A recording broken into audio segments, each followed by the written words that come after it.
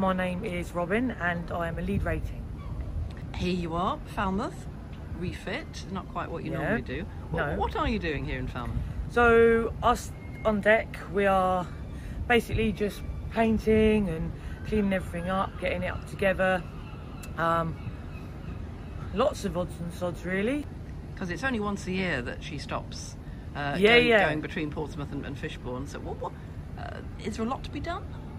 Oh yeah, definitely, definitely. And look, most of this white work and things like that, and say we're changing the colours and bringing the hybrid green more through the ship.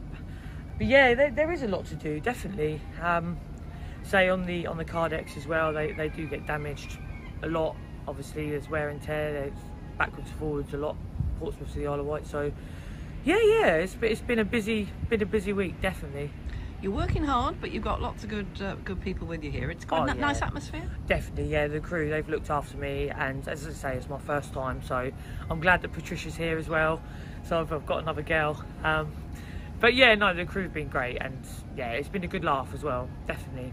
Average day at work is to, to and from the Isle of Wight, parking cars. We, we do bits and bobs of maintenance as well.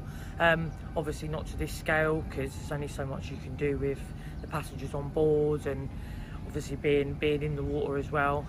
Um, but yeah, we, we're just customer service and deck patrols and being in control of incidents and emergency procedures and yeah, it's good. It's good.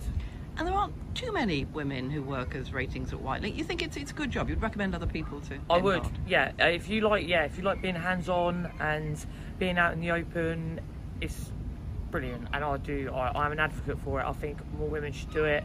And there's only two of us ratings. So there are some chief officers and captains that are women as well, which is obviously is great. Um, but yeah, only two ratings. Um, And there's room for more. definitely, definitely, we need some more. Bring them in. Now, finally, you're here in Falmouth. You work in Portsmouth. What was the journey like? All those hours through the English Channel. I mean, I, I really enjoyed it. As I say, it was my first time, so I it was different for me. So I did enjoy the experience. It was flat, calm. I didn't have any bad weather.